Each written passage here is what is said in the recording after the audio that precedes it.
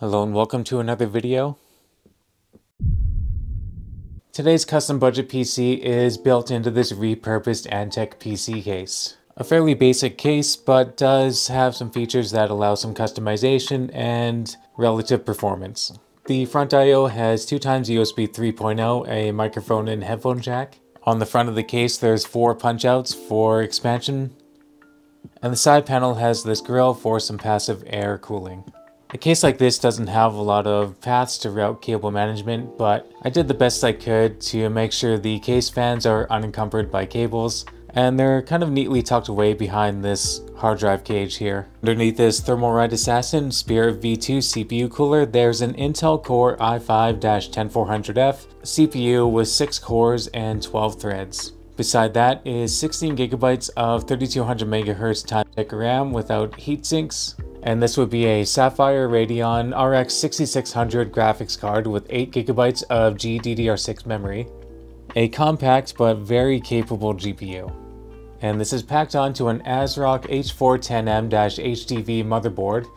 No frills, no gimmicks. One nice feature is that we have an available short PCIe lane above the graphics card for expansion cards or Wi-Fi card. Bring it all is this Thermaltake 600 watt Smart Series power supply. For storage, there's a 512GB 2.5-inch Timetec solid-state drive. And for additional storage, I just threw in this Western Digital 160GB hard drive. For airflow, there's a 120mm air intake fan and a 120mm air exhaust fan. This is a fairly basic cooling setup, but you'll see in the gaming performance that it's actually pretty much all we need.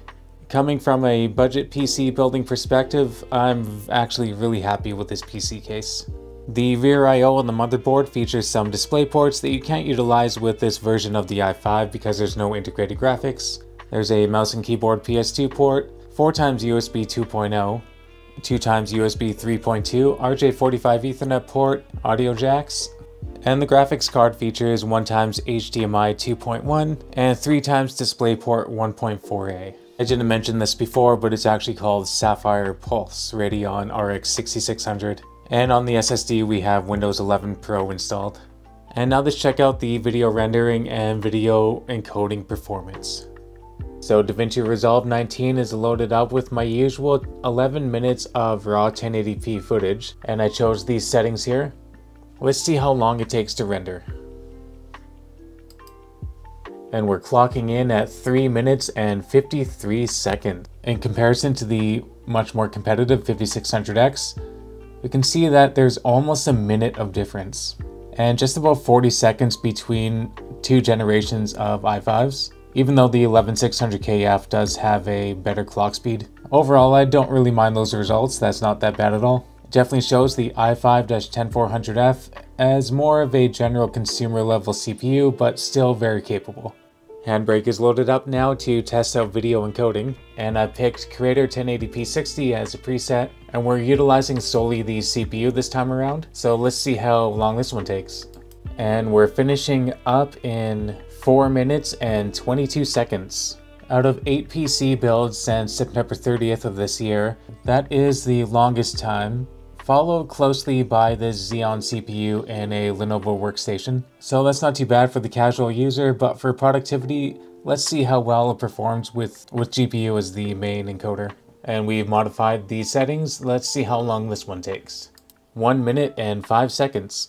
So we can see that the clear choice is utilizing the RX 6600 over raw CPU power, but this gives you a fictional scenario of how long it would take if you're only able to rely on CPU. And now it's on to the gaming performance examples. Thanks a lot for checking out my video. If you're using a setup like this in 2024, definitely let me know in the comments below. Otherwise, I hope you have a great day.